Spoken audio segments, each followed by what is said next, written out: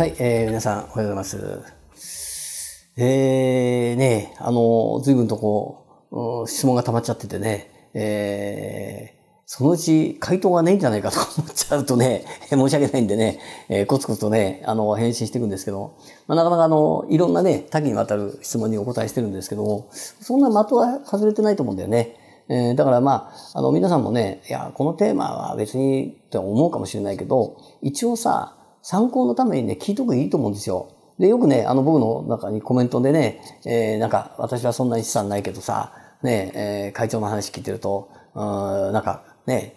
気分がスッキリするみたいなね、それいいんですよ。ね、あのー、前にも言ったかもしれないけど、やっぱりね、そういう波動っていうかさ、ね、その貧乏ったらしい人と付き合ってるとずっと貧乏のから脱却できないしね。で家庭の中もさ、貧乏ったらしいと貧乏続くよね。で、そういう人に限っていろんな消費をするんだけどさ、あのー、ね、えー、まあ僕なんかみたいにこうね、まあそっちなんだけど、まあ少しは人は、一人では持ってるな。で、そういう面で考えると、生き方の中でさ、やっぱ僕もね、その、いろんなこう、ね、あの、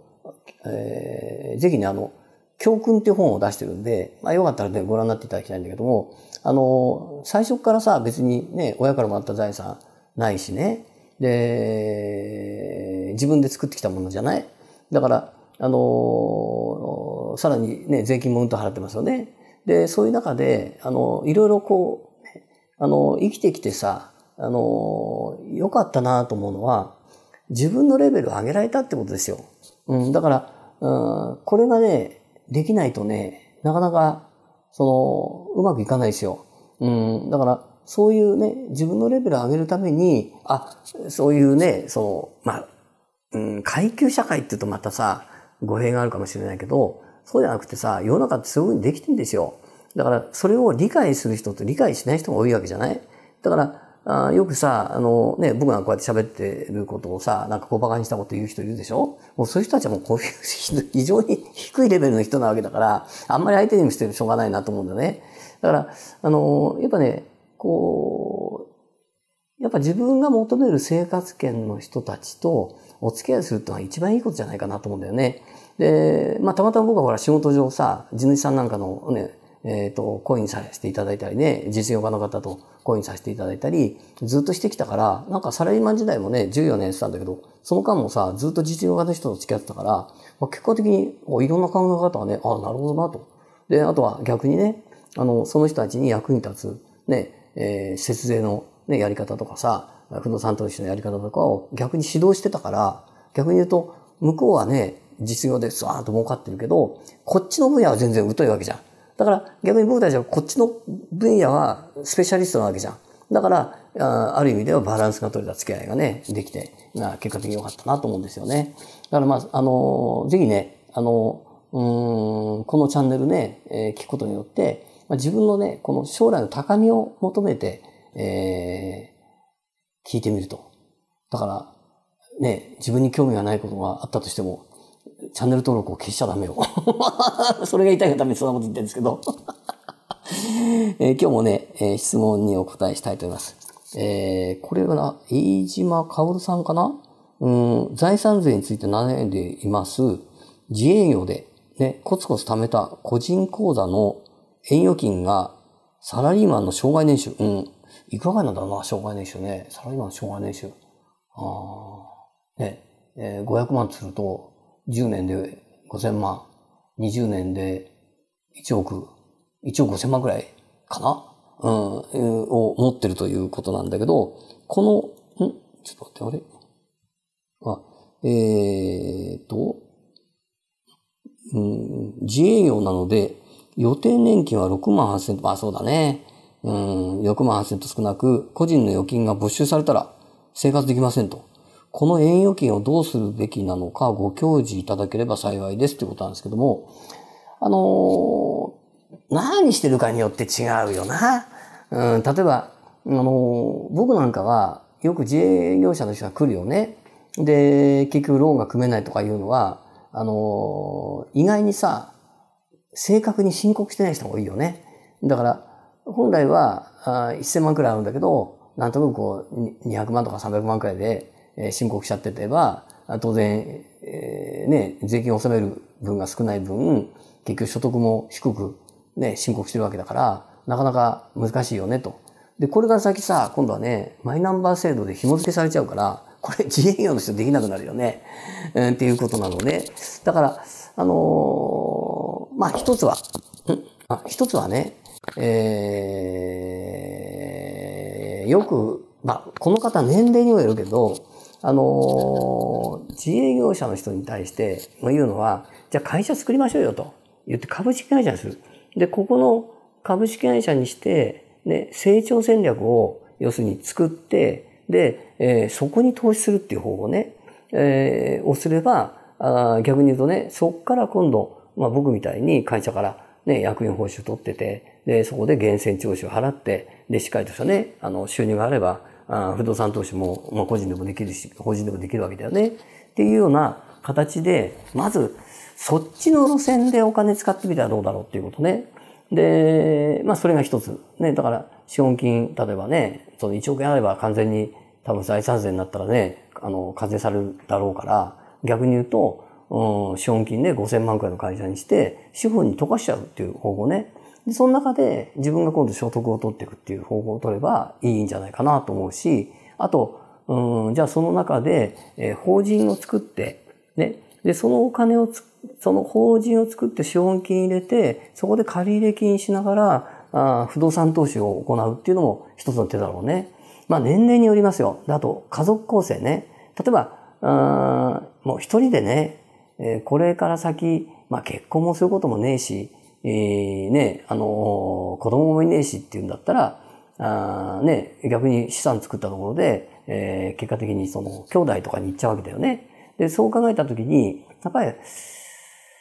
うん、その場合は、まあ、コツコツ使うしかないんだろうなと思っちゃうよね。でも使い切れないよね。で、さらに、えー、ね、その年金の、いわゆる補填分を考えるとすれば、やっぱり僕は不動産投資じゃないかなと思うよね。だから、あある意味で、まあ、現金をね、預貯金で取っとくんだったら、まあ、これを使って、ね、例えばワンルーム、マンションでもいいよね、買っといて、で、えー、ね、1億あったらいくつも買えるじゃないですか。で、その中で、えー、まあ大体東京都内で買えばさ、1200 300万で出せば、あね、諸経費引いても5万円くらいのね、えー、ネット収入があるよね。そうすると3つ買えば、あね、えー、15万、4つ買えば20万。ね、単純な計算するとそんなもんじゃない。と、そういうのを年金に今度足してね、あの、要するに、え生活費を補填するって方法もありじゃないかなと思うんだよね。だから、あのまあ、自営業の方はね、これから多分ね、